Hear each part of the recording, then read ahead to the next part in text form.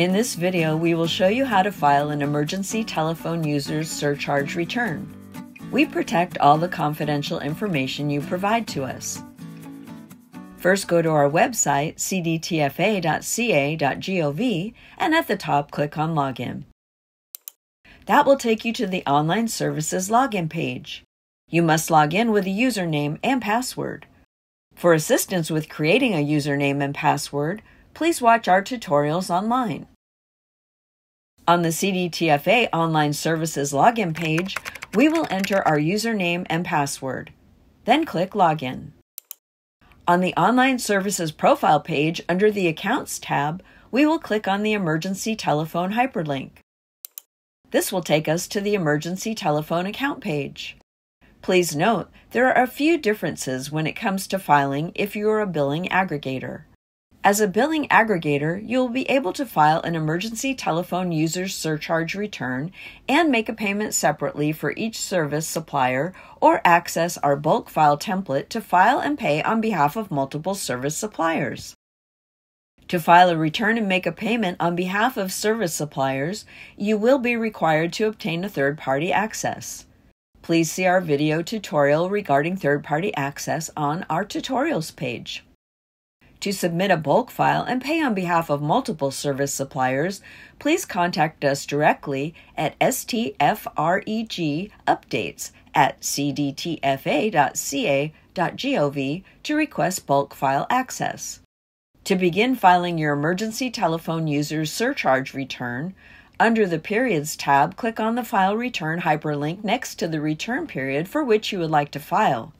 In our example, we will file for the month of January, which is displayed by its return end date of January 31st, 2023. On the Surcharge Transactions page, enter the number of access lines and retail transactions subject to the surcharge. The 911 and 988 surcharges are imposed on each wire line, postpaid wireless, and voice over internet protocol access line that the service user subscribed to in California, and on the purchase of prepaid mobile telephony services for each retail transaction in California. Enter the total number of wireline and postpaid wireless communication service lines subscribed, subject to the surcharges. Enter the total number of VoIP communication service lines subscribed in California subject to the surcharges. Enter the number of retail transactions of prepaid mobile telephony services subject to the surcharges. The system will automatically calculate and apply the rates of the surcharge to the number of access lines and retail transactions. For help with your return, you can click on the blue hyperlink, Online Filing Instructions, or call our customer service center at 1 800 400 7115, California Relay Service at 711. In this example, we have 5,000 wireline and postpaid wireless communication service lines subject to the surcharges. We have 2,000 VoIP communication service lines subject to the surcharges. We have 1,000 retail transactions of prepaid mobile telephony services subject to the surcharges. The system automatically calculated the total amount of the 911 surcharge of $2,400 and the total amount of the 988 surcharge, $640. Any rates reflected in this example are for illustration purposes only. You can view all the rates on our website. If you choose, you can save your work at any time by clicking the Save Draft button. Enter your password and click OK. You will then be directed to a confirmation page. Now that you've saved your draft, let's go back to filing your return. Click the Continue Editing button. Now we are back to your return. After entering your numbers, click Next to continue filing. This brings us to the Schedule TEA Refusal to Pay Schedule page. Select Yes if there were service users who refused to pay the 911 or the 988 surcharges. If you select yes, you will be required to provide the name, address, amount of refused surcharge, and the reason, if known, for any service users who refuse to pay a cumulative total of $3 or more in surcharges. In our example, we do have service users who refuse to pay, so we will select yes. You can click on the empty fields and directly key in the information required. Once all the required information is entered, click the Next button to continue. On the Deductions page, under the 911 Surcharge section, the total amount of 911 surcharge for which service users refuse to pay will pre populate from the information entered on the refusal to pay schedule from the previous page, if any.